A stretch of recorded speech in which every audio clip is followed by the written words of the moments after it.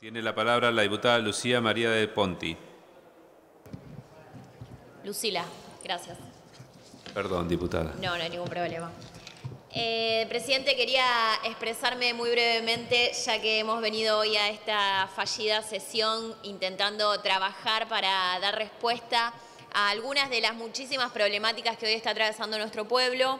Nuestra intención fue fallida a causa, por supuesto, de la voluntad del oficialismo de obturar eh, e impedir que se sancione cualquier tipo de ley en esta, en esta sesión. Y quiero referirme a la importancia de estas leyes porque hoy venimos a hablar, y como lo han hecho todos los compañeros y compañeras, acerca de sectores de nuestra población, de, de grupos de nuestra población que son absolutamente vulnerados por las políticas de este gobierno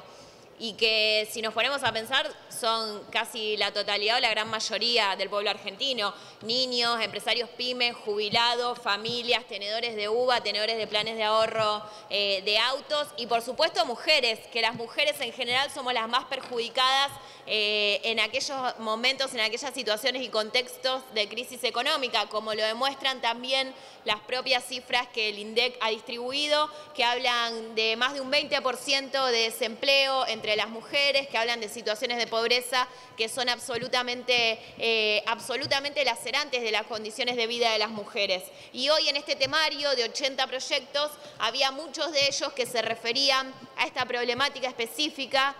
de la violencia que sufrimos las mujeres, de la desigualdad que sufrimos las mujeres todos los días en cada uno de nuestros barrios, de nuestros pueblos, de nuestras ciudades. Había proyectos para declarar la emergencia de género, para crear un programa de promotoras territoriales, para crear una red de refugios y todo esto lo estamos discutiendo ya más de 10 años de la, de la sanción de la ley 26.485, la ley para prevenir y erradicar todo tipo de violencia contra las mujeres y que realmente quiero llamar la atención sobre esto porque me parece que como, como representantes de la política, representantes de nuestro pueblo, tenemos que dar ese paso de poder trascender el discurso y llevar a la práctica políticas efectivas y reales que cuiden, que protejan los derechos, en este caso de las mujeres, y que, tengan efectos reales a la hora de, de poder disminuir los gravísimos índices de femicidios que tenemos en nuestro país, donde hablamos de una mujer muerta por el solo hecho de ser mujer, una mujer muerta por día, un índice, un indicador que no desciende a través de los años y que por supuesto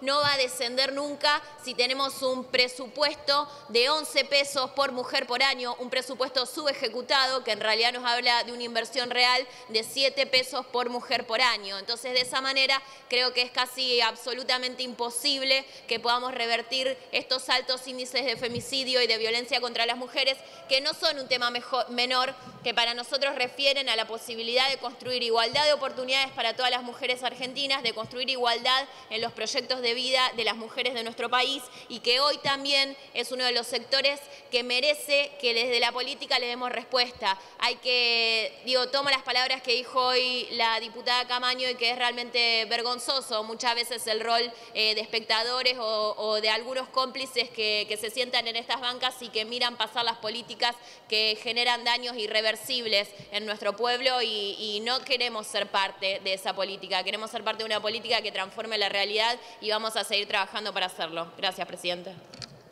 Gracias, señora diputada.